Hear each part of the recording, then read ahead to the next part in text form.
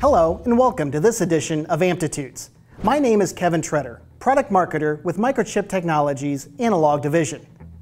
In this episode of Amplitudes, we will discuss two and three terminal gas sensors and the associated potentiostatic circuit required to control and manage the sensors. The need for toxic gas monitoring continues to increase as more and more emphasis is placed on the safety of the public as well as employees in potentially hazardous environments, such as oil and gas exploration, chemical processing plants, hospitals, and enclosed areas such as parking garages and tunnels. There are both two-terminal and three-terminal electrochemical gas sensors in use today, with a majority of the more recent sensors employing three terminals, namely a sensing, reference, and counter electrode. A two-terminal sensor will not have a reference electrode. As the target gas passes through the membrane, it reacts with the surface of the sensing or working electrode, causing either an oxidation or a reduction. If the sensing and counter electrode are connected on the outside of the cell, a current will flow that is proportional to the amount of gas concentration.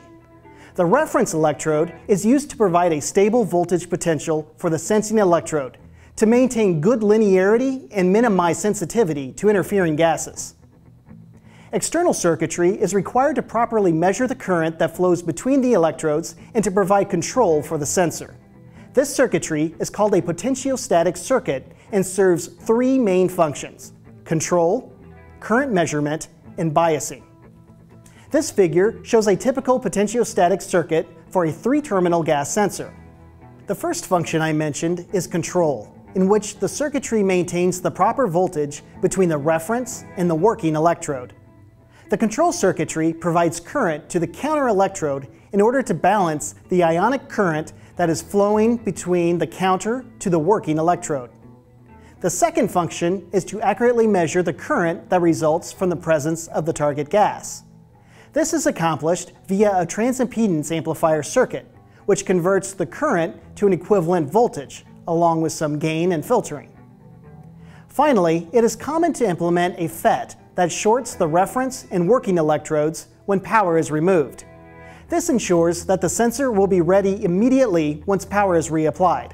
If the sensor is left open circuit when powered off, it could take a few hours in order for the sensor to stabilize once power is applied.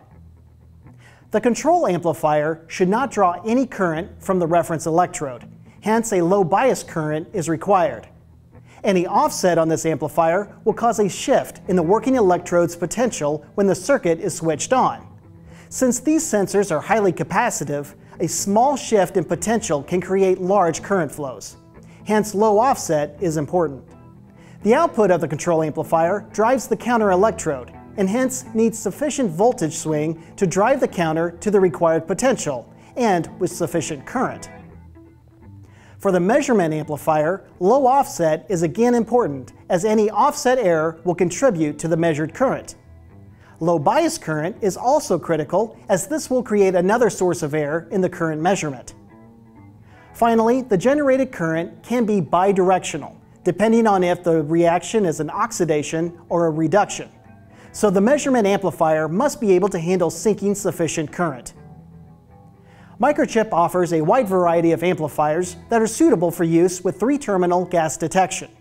Zero-drift amplifiers, such as the MCP6V11, offer exceptional performance and low power, while the MCP6421 offers a more cost-effective alternative while still providing low offset and low bias current. Thank you for joining me for this edition of Amplitudes. For more information, please visit www.microchip.com/linear. If you have a topic you would like reviewed in Amplitudes, please be sure to leave a comment below.